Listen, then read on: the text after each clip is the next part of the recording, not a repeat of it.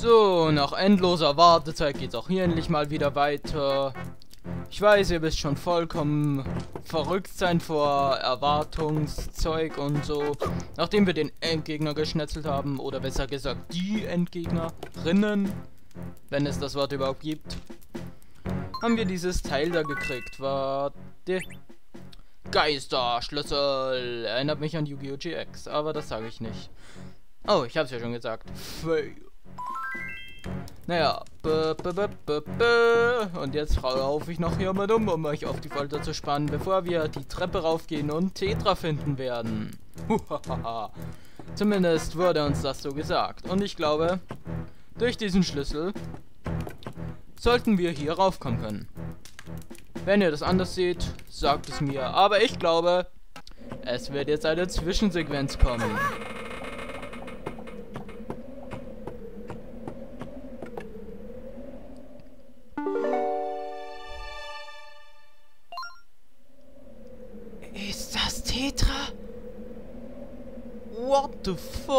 Sie ist versteinert. Oh mein Gott. Heul. Was sollen wir machen? Sie... Sie ist... Versteinert. Nein! Oh, sorry, dass ich so spät dran bin, Kleiner. Ja, ich komme einfach mal so nachher her. No. Die Monster tauchen zwar immer wieder auf, aber nachdem du den Eckling besiegt hast, sind sie wieder weg und ich kann einfach so durchspazieren, weil ich es mir leicht mache. Ja. Der Nebel ist einfach verschwunden. Aber warum sehen wir dann hier noch Nebel? Also ich sehe noch Nebel. Seht ihr noch Nebel? Ja. Deswegen konnte ich auch hierher kommen. Und der Schatz. Es gab doch einen Schatz. Wenn nicht, dann werde ich dich töten. Weil ich will nur Geld. Ich bin so geldgeil wie ein YouTube-Partner. Nicht Spaß. Wovon redest du? Die Freundin von Manuel steckt in Schwierigkeiten. Und du bist so dumm und denkst immer nur an deinen scheiß Geldgeilheit, du. Hm? Das ist also deine Freundin? Sieht blass aus. Ja, Sie hat, in, sie hat vom Braten graue Haare bekommen. Ja, nicht nur graue Haare, sondern auch äh, gleich den ganzen grauen Körper. Extrem langes Warten. Warum hast du dich nicht beeilt, Link? No. Ja, als hätte man ihr die Seele weggenommen. Was in aller Welt ist mit dir passiert? Duck, duck, duck. Lebenskraft wurde vom Geisterschiff ausgesaugt. Großvater, was machst du denn hier?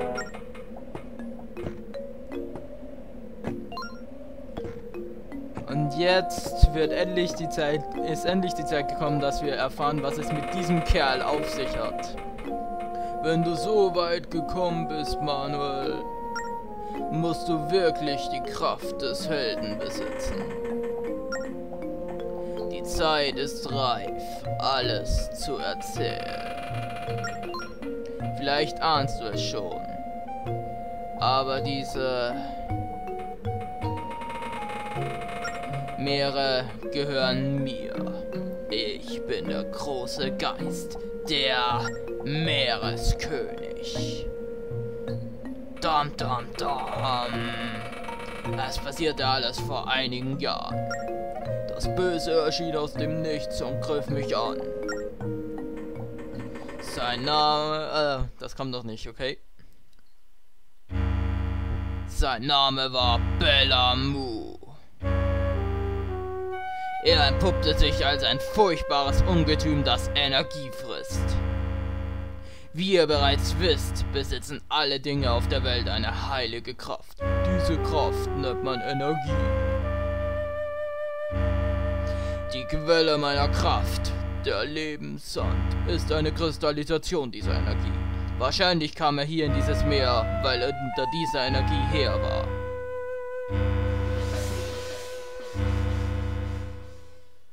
Natürlich habe ich mich zur Wehr gesetzt. Aber mein Gegner war ein Ungetüm, das Energie frisst. Er durchschaute meine Angriffe und ich wurde leicht besiegt. Ich wurde in die Tiefen des Tempels hinabgezerrt, wo die Sonne nicht scheint. Versiegelt wird meine Energie immer noch von ihm ausgesaugt. Wow, das sind doch unsere Endgegner. Er benutzte die Energie, die er ausgesaugt hatte, um immer mehr neue Monster hervorzubringen. Die Lichtgeister der Kraft und Weisheit wurden ebenfalls versiegelt. Aber Ciela klonte sich und ihr gelang die Flucht. Zur selben Zeit verlor sie wohl auch ihr Gedächtnis.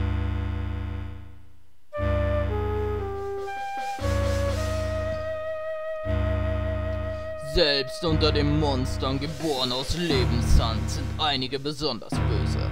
Die Phantome, die den Tempel durchstreifen, sind seine Abkömmlinge. Über die Maße stark, dick gepanzert, praktisch unbesiegbar. Sie bewachen den Tempel. Schon längst kann sich niemand mehr Bellamu auch nur nähern.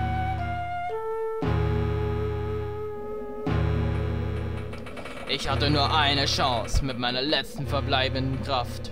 Klonte ich mich, wie Siela es getan hatte. Dann baute ich mir ein Haus auf der Insel Melka. Ich benutzte den Lebenssand, um die Phantomsanduhr zu erschaffen und damit in den Tempel hineinzugehen. Ich suchte nach einem Weg, Bellamo zu besiegen und wartete ab. Ciela, Entschuldige, dass ich so lange geschwiegen habe. Auch die Lichtgeister der Kraft und der Weisheit haben Verständnis für mich gezeigt und sich mit Details zurückgehalten. Aber dass ich dich am Strand fand, war Zufall. Du hattest Amnesie und Monsterstreifen umher. Ich hielt es für das Beste fürs Erste zu schweigen.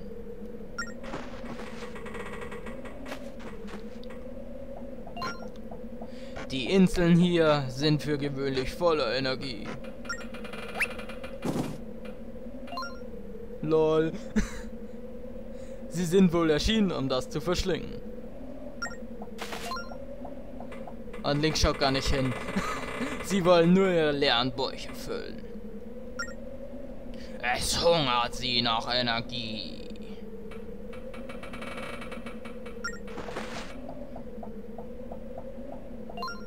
Oha, auf einmal ist sie ja gar nicht mehr grau. Oder ist das ein Bug? Ah, das ist ein Bug. Nicht wundern, warum Tetra plötzlich nicht mehr grau ist. Äh, das ist irgendein Bug vom Emulator. Keine Ahnung, was das ist, aber... Stellt euch einfach vor, sie wären doch immer grau. Das Geisterschiff diente dazu, Energie auszusaugen. Die Gerüchte über Schätze an Bord sollten Opfer anlocken. Bellamu war nicht damit zufrieden, nur meine Energie aufzusaugen. Auch wenn es wenig war. Er musste auch noch den anderen, äh, den Menschen die Energie absaugen.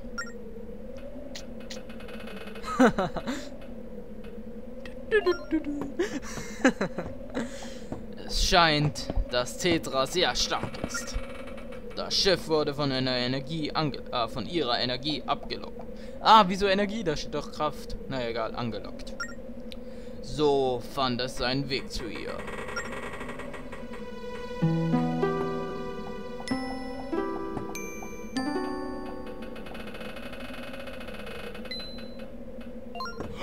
Und jetzt kommt er erst drauf. Moment mal! Das heißt, es gibt gar keinen Schatz?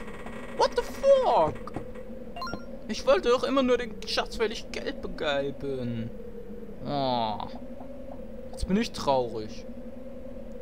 Ja, das habe ich gerade gesagt. Oh. Soweit ich es beurteilen kann, ist Tetra noch am Leben. Besiege das Monster. Mann, das sieht so aus, als hätte es einen Milchbart. Lol, scheiß Emulator-Bug. Wenn mir das Spiel auf dem SNES spielt, ist die da überall noch grau. Also, die ist nicht farbig. Hm. Besiege das Monster, bevor Milchbart äh, deine Energie aufgebraucht ist. Ich muss den Lebenssand zurückerobern. Damit kann ich Tetra ihre Energie zurückgeben und sie heilen. Und ja auch noch den Milchbad von der Backe putzen. ne, das ist jetzt nicht mehr lustig. Es gibt eine Insel nördlich der Insel des Windes. Ein, äh, geht dorthin und besucht den Schmied Sautz. Er wird euch mehr über Bellamu erzählen können. Big Brother's watching you, das Auge da hinten. ja. Er weiß, wie man Bellamu besiegen kann. Du machst wohl Witze, Opa. Ich bin geldgeil und es gibt gar keinen Schatz. What the fuck? Ich dachte, es gäbe ja Schätze. Das ist der einzige Grund, warum ich mein Leben aufs Spiel gesetzt habe. Ja klar, er hat doch überhaupt nicht sein Leben aufs Spiel gesetzt. Oder etwa doch? Ich weiß ja nicht, was passiert war, während er, er sich um sein Schiff gekümmert hat. Äh, ja. Und jetzt sagst du, es gibt gar keinen Schatz. Eine Welt bricht für mich zusammen. Ich begehe Selbstmord. Uh. ich schmeiß die Suche hin. Hey, hast du überhaupt zugehört, du Spost? Als ein Mann der See, willst du da dem Meereskönig nicht helfen? Nein, um mein Schiff könnt ihr euch auch abschminken.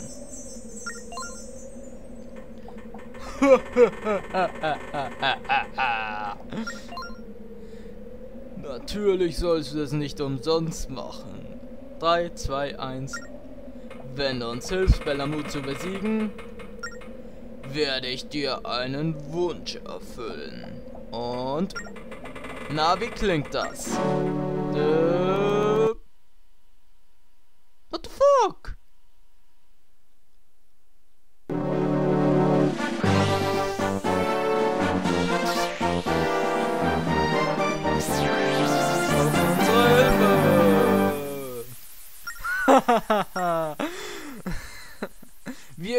gehen, Ankerlichten, Beeilung. Rumpf. Wenn es um Geld geht, ist er sofort zur Stelle. Es tut mir so leid, dass du und Tetra in diese Sache verwickelt worden seid. Und übrigens, ich wusste nicht, was da vorher äh, los war, als das irgendwie stehen geblieben ist. Wahrscheinlich wieder ein Emulator-Bug. Mit deiner, äh, mit deiner Stärke kannst du Bellamu besiegen. Mein echter Körper ist tief im Tempel versiegelt. Auch Bellamu ist wohl dort. Eigentlich sollte ich diese Schlacht selbst schlagen. Aber ich lass dich das machen, weil du bist nicht alt. Aber du bist unsere einzige Hoffnung. Naja, so kann man es auch ausdrücken. Wir zählen auf dich, Manuel. Was machst du denn, Manuel? Schnapp dir deine Freundin und komm zurück.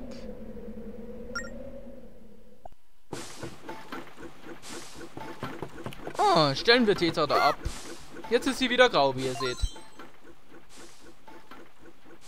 Sie ist sprachlos vor Glück, weil wir sie endlich gerettet haben. Stirb. Yay, ich habe ihr das Herz rausgerissen. Voll grausam. Bumm. Und ein zweites Herz. Sie hat genauso viele Organe wie Link. Alles klar, Manuel. Wir müssen hier raus. Ich will den Wunsch. Jetzt ist nicht die Zeit, mit offenem Mund herumzusitzen. Oder mit geschlossenem. Oder irgendwie anders. Der alte Mann sagte, dass Sauz der Schmied den nächsten Hinweis hat. Wir müssen diesen Schmied finden und Bellamu besiegen. Nur so komme ich an meinen Wunsch. Und dann... Und dann wird der Schatz mir gehören.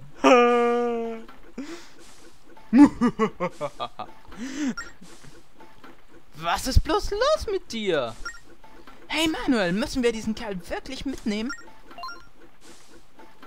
Äh, ja, eigentlich schon. Also, ja. Wenn wir genug Rubine hätten, um sein Schiff zu kaufen, nicht. Dann würden wir ihn, äh, den Haien zum Fraß verwerfen. Aber leider sind wir nicht so gut wie andere Phantom Hourglass-Spieler und haben doch nicht so viele Rubine. Nicht, dass wir uns das äh, Schiff wirklich kaufen könnten, aber das wäre ja mal geil. Naja, jedenfalls, lass uns aufbrechen. Sauz lebt auf der Insel nördlich der Insel des Windes, richtig? Gar nicht so weit von hier. Lass uns keine Zeit verschwenden. Auf geht's, Abfahrt! Du, du, du, du. Wow, und der Nebel ist endlich weg. Genau wie auch das Geisterschiff. Und wo mir gerade auffällt, nördlich der Insel des Windes, was haben wir denn da? Ich sehe da ein komisches Kreuz. Möglicherweise ist es das, wo wir hin müssen.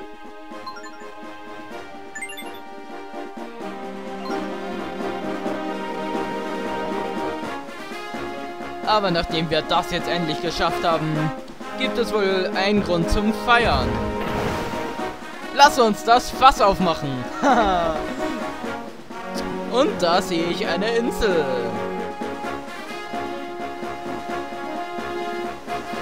Anscheinend waren wir im Recht und das ist die Insel, auf der Sauz der Schmied lebt.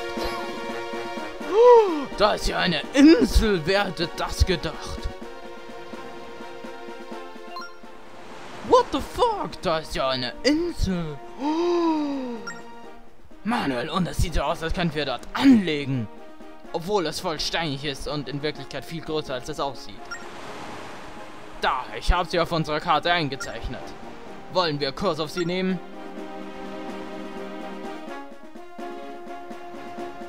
Los, los!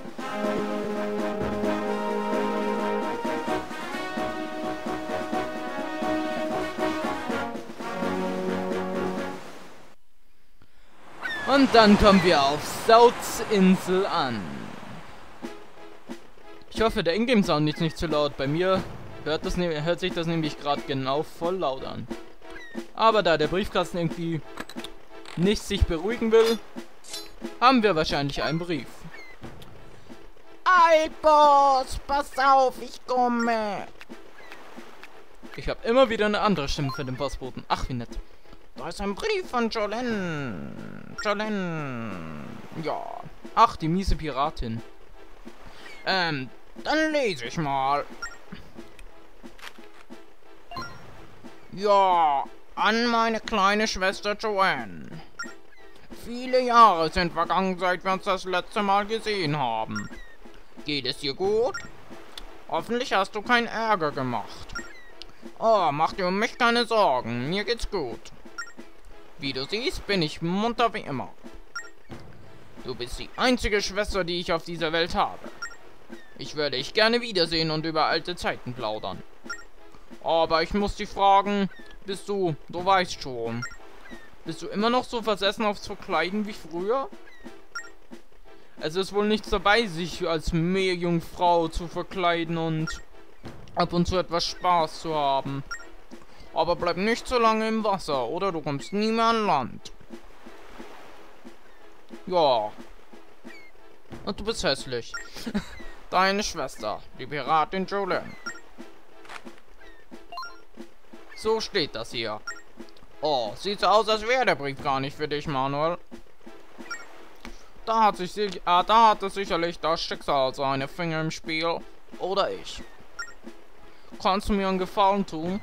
Bitte bring äh, den Brief zu Joanne für mich. Ja. Du hast Jolens Brief erhalten. Oh, so rosa mit Herzchen. Süß. Ein Brief von Jolene an ihre jüngere Schwester. Wenn du ihn ihr bringst, freut sie sich bestimmt.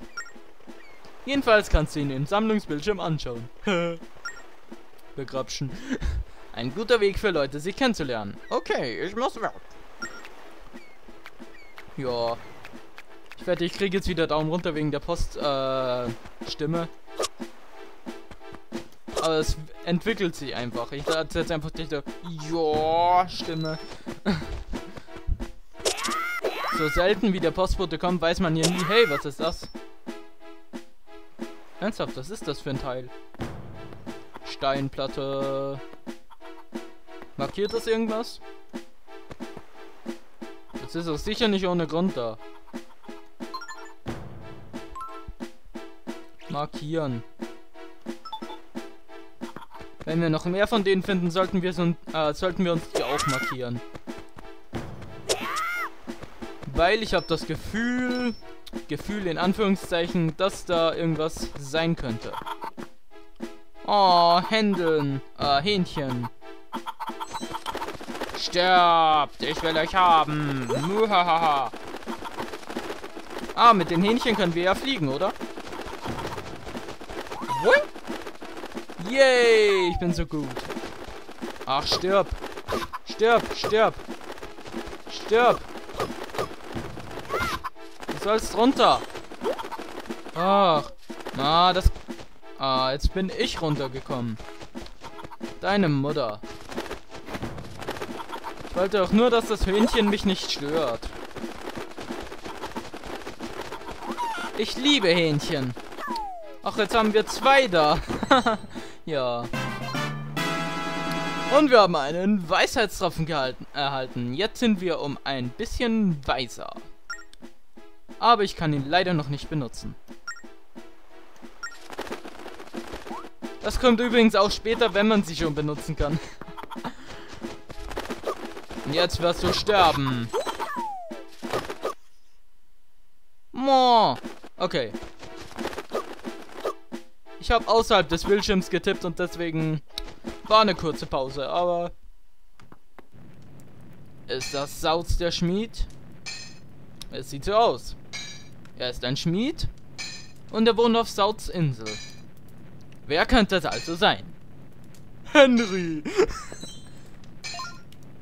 Ähm, tut mir leid, dich zu unterbrechen, aber bist du Sauz? Nein, ich bin Henry. Ihr seid diejenigen, die nach Belamu suchen, nicht wahr? ne, Spaß, natürlich ist das aus. du bist zwar noch ein Kind, aber wenn ich in deine Augen blicke, weiß ich, du bist der Held. Der vom Meereskönig auserwählt wurde.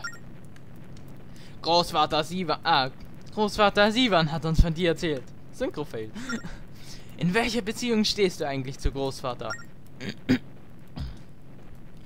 Wisst ihr, seit Generationen lebten unsere Vorfahren, um dem Meereskönig zu dienen. Sie verteidigten den Meereskönig in einer Zeit, als das Böse auf See lauerte.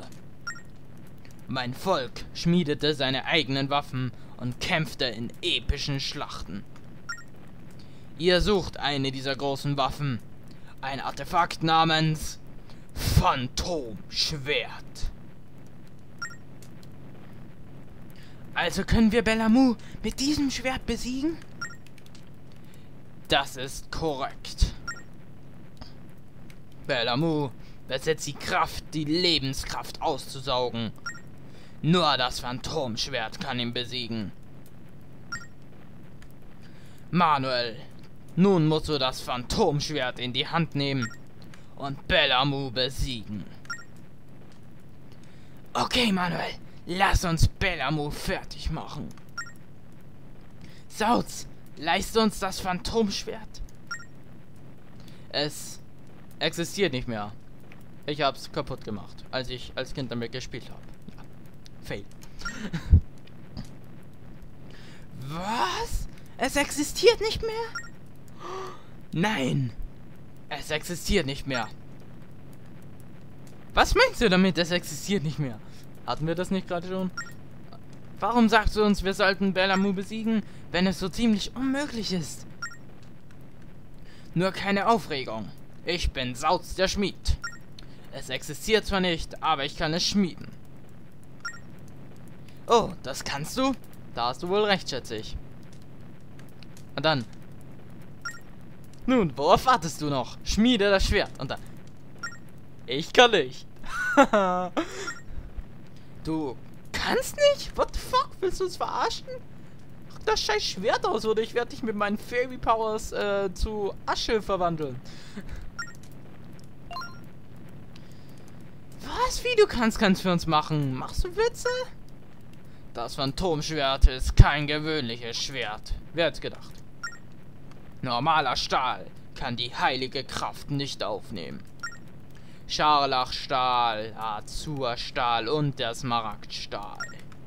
Diese drei Stähle werden benötigt, um das heilige Schwert schmieden zu können. Komm, Manuel, lass uns diese drei Stähle finden. Wo könnten die drei Stähle sein? In Stahlhausen, Stahldorf und Stahl am Meer. ja. Vor langer Zeit schenkte der Meereskönig die Stähle drei Stämmen dieser Welt. Die drei Stämme müssten diese Schätze über Generationen weitergegeben haben. Wenn du diese Stämme besuchst, solltest du etwas über die Stähle in Erfahrung bringen können.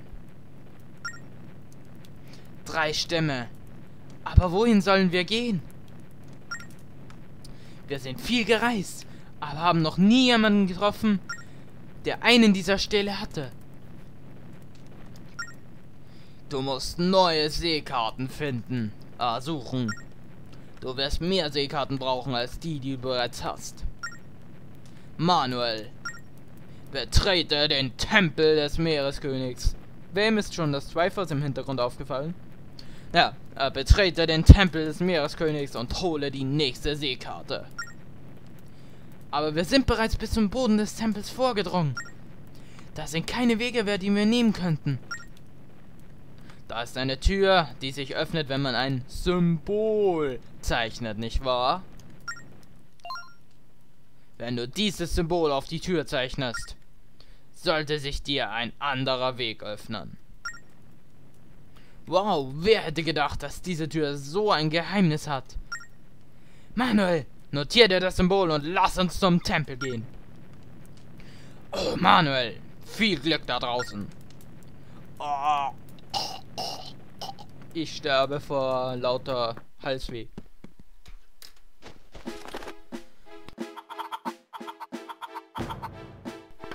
Ah, so. Jetzt musste ich mal kurz das Mikro muten, um zu husten. Hühnchen, du bist schuld daran.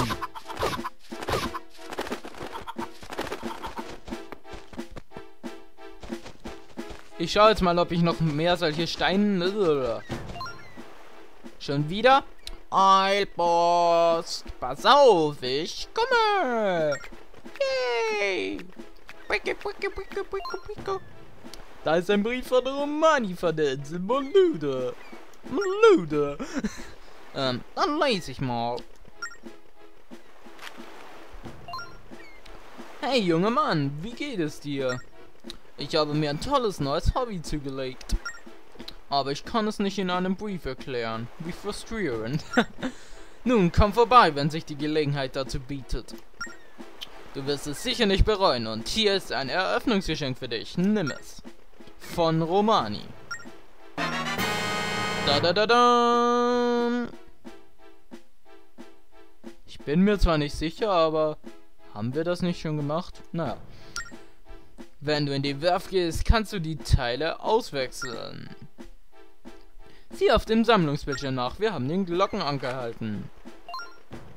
Und so endet der Brief. Hast du alles verstanden? Dann bin ich weg.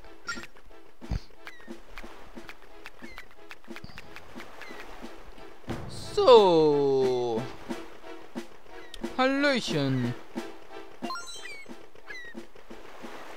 Also, hast du herausgefunden, wie man dieses Monster Bellamu besiegt, wie? Was? Ein Schwert? Stahl? Hey, hey, hey, warum müssen wir jedes Mal... Okay, ich folge dir bis zum End bitteren Ende, aber nur, weil ich den verdammten Wunsch haben will. Und dann machst du diesen Bellamu fertig, verstanden, Manuel? Nun denn, wir müssen in den See stechen. Ja, das müssen wir. Denn im nächsten Part geht's dann weiter zur ersten Stahlinsel. Ne, Spaß. Dann geht's erstmal zum Tempel des Meereskönigs. Mit dem neuen Triforce-Symbol. Dam, da, dam, dam.